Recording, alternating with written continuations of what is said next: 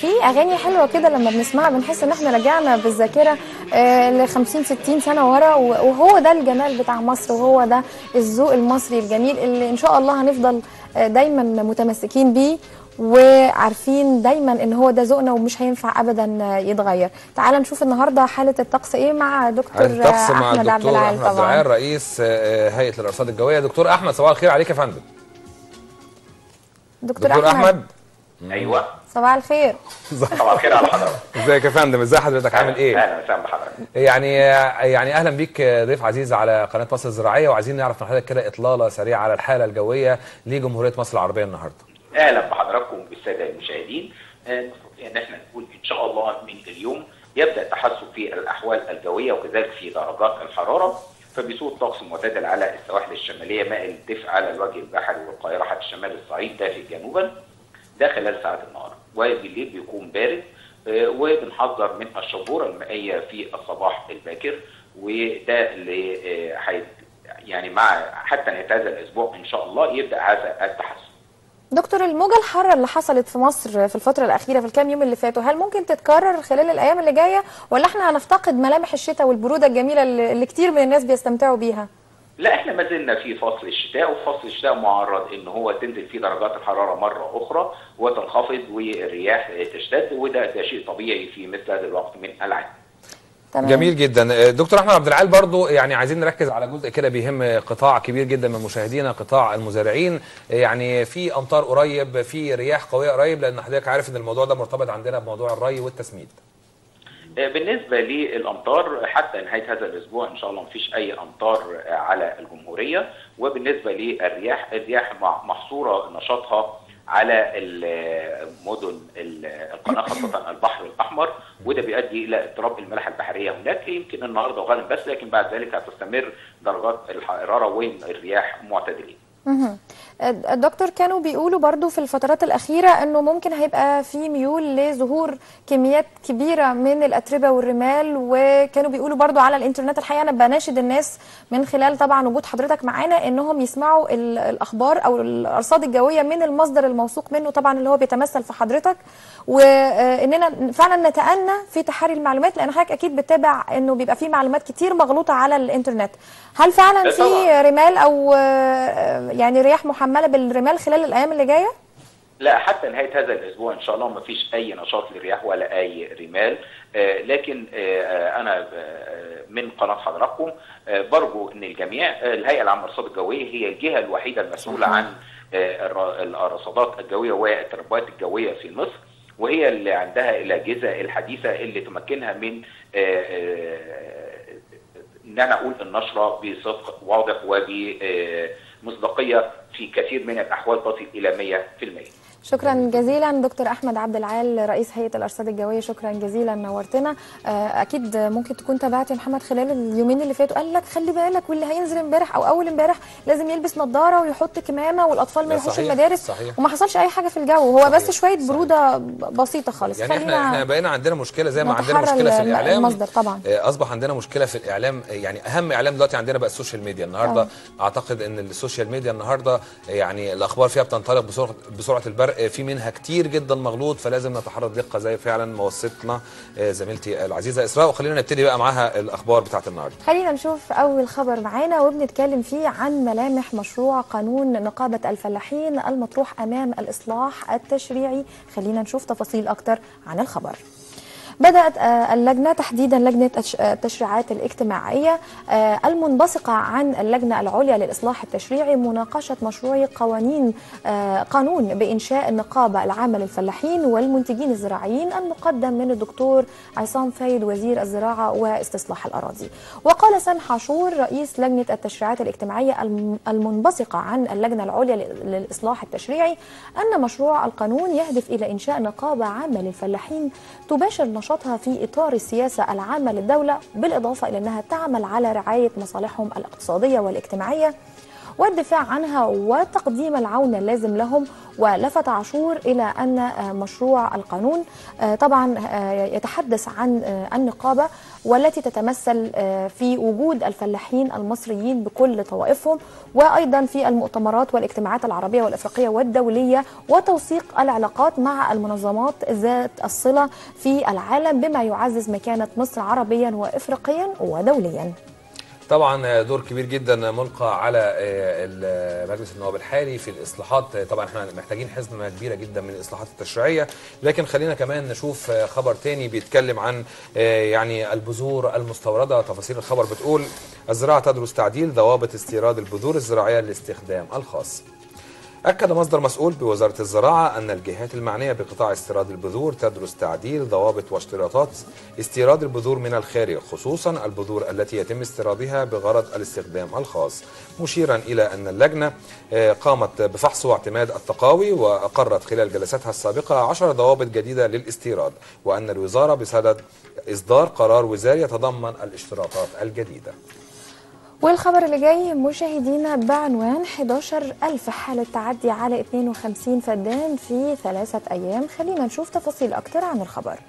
كشفت وزارة الزراعة أن أيام الجمعة والسبت والأحد الماضية شهدت آه، 1121 حالة تعدي على مساحة 52 فدان من الأراضي الزراعية بمختلف أنحاء الجمهورية. وأوضح التقرير الصادر عن الإدارة المركزية لحماية الأراضي عن المساحات المتعدى عليها وأنه تمت إزالة 726 حالة تعدي على مساحة 28 فدان وستة أراريط و12 سهم آخر خبر معانا النهارده آه، على لسان آه، شيخ الأزهر كلنا مسؤولون أمام الله عن مواجهة الفكر المتطرف. أكد الإمام الأكبر الدكتور أحمد الطيب شيخ الأزهر الشريف أن الحكماء والعلماء عليهم دور كبير في تحصين شباب الأمة وتوعيتهم بمخاطر الوقوع في براثن جماعات الإرهاب وأن الحكام أيضا يقع عليهم دور في دعم الجهود التي يبذلها هؤلاء العلماء والحكماء لتحقيق التكاتف في مواجهة الفكر المتطرف. فهم مسؤولون أمام الله عن مواجهة الفكر الهدام بما يحمي أبناءنا وشبابنا من الوقوع فريسة لهذا الفكر المنحرف.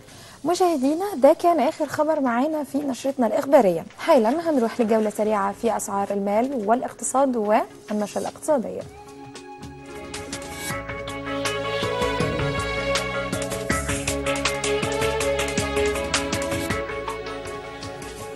رجعنا لكم أعزائنا المشاهدين في إطلالة سريعة على أسواق المال والاقتصاد. يعني أول خبر النهارده مفرح جدا بيقول مصر تتصدر قائمة الدول في الشرق الأوسط للاستثمارات الكويتية. أكد الوكيل المساعد لشؤون المنظمات الدولية والتجارة الخارجية الشيخ نمر فهد المالك الصباح أن الدول العربية تنظر إلى مصر على أنها بلد جاذب للاستثمار نظرا لأنها ذات طابع سياحي واقتصادي تجاري. والدليل على ذلك أن أعلى استثمارات للكويت في الشرق الأوسط هو بمصر, آه، بمصر والتي تعتبر ترجمة حقيقية لذلك. لافتا إلى أهمية العمل على تطوير مناخ الأعمال لزيادة فرص الاستثمار بها. الخبر اللي جاي مشاهدينا بعنوان التنسيق بين هيئات المواصفات المصرية والأردنية لتيسير حركة التجارة بين البلدين. أكد المهندس طارق قبيل وزير التجارة والصناعة ضرورة القضاء على العوائق والتحديات التي تعوق حركة التجارة المشتركة بين مصر والأردن لافتا إلى أنه تم الاتفاق على التنسيق بين هيئات المواصفات في البلدين لعقد اجتماع مشترك لتفعيل الاتفاقات الموقعة الخاصة بالاعتراف المتبادل بشهادات المطابقة بما يسهم في تيسير عملية انتقال السلع بين الجانبين. ومعانا كمان خبر بيتكلم عن البورصة. يعني ما شاء الله البورصة تربح 2.7 من 10 مليار جنيه ومؤشرها يرتفع 1.3 من 10 بختام التعاملات. خلونا نشوف مع بعض تفاصيل الخبر بتقول إيه. واصلت مؤشرات البورصة المصرية ارتفاعها ارتفاعاتها القوية للجلسة الثانية على التوالي. لدى إغلاق تعاملات أمس مدعومة بعمليات شراء من قبل المؤسسات وصناديق الاستثمار الأجنبية والعربية. وسط حالة من التفاؤل سادت بين المستثمرين بعد التصريحات الإيجابية لمحافظ البنك المركزي عن البورصة المصرية. فض- فضلا عن ارتفاع أسواق المال الخليجية والعالمية بعد زيادة أسعار النفط. مشاهدينا وحالا عفوا وحالا هنشوف أخبار أسعار العملات. إيه شهدت آه، آه، العملات الأجنبية؟ استقرارا نسبيا في الأسعار مقابل الجنيه المصري. وفيما يلي مشاهدينا بيان بأسعار العملات مقارنة بالجنيه المصري. دولار أمريكي بيع 7.83 وشراء 7.78 يورو بيع 8.65 وشراء 8.57 جنيه استرليني بيع 11.27 وشراء 11.7 دينار كويتي بيع 26.15 وشراء 25.86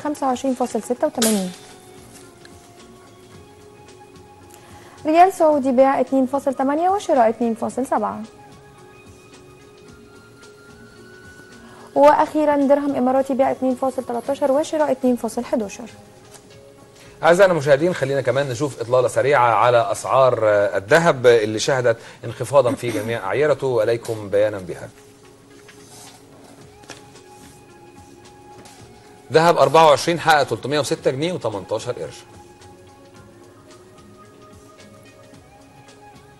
عيار 21 حقق 267 جنيه و91 قرش.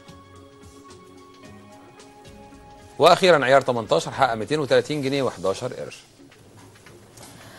مشاهدينا ننتقل حالا إلى أسعار الخضار والفاكهة وهنبتديها حالا بأسعار الخضار طبقا لسوق العبور. طماطم جملة جنيه ونص والتجزئة 3 جنيه. بطاطس جملة جنيه ونص والتجزئة 3 جنيه. بصل جملة 2 جنيه والتجزئة 4 جنيه. أما الكوسه في الجمله 2 جنيه والتجزئة 3 جنيه. فاصوليا جملة 2 جنيه والتجزئة 4 جنيه. باذنجان بلدي جملة 2 جنيه والتجزئة 4 جنيه. باذنجان رومي جملة 2 جنيه والتجزئة 4 جنيه.